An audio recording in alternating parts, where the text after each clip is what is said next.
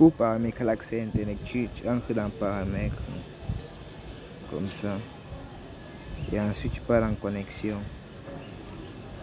Tu choisis réseau mobile. Tu pars dans nom des points d'accès. En plus, tu choisis ajouter.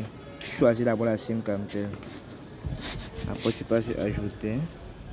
Sur le nom, tu écris Camtel. Comme ceci. En minuscule. Et en APN, tu écris Camtel en minuscule.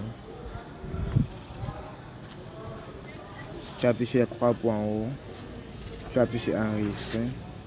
Après, tu appuies sur, sur, sur, sur l'APN que tu viens d'ajouter. Tu sors, tu verras ce que les données, données en étirant soient activées. Après, ta connexion va passer.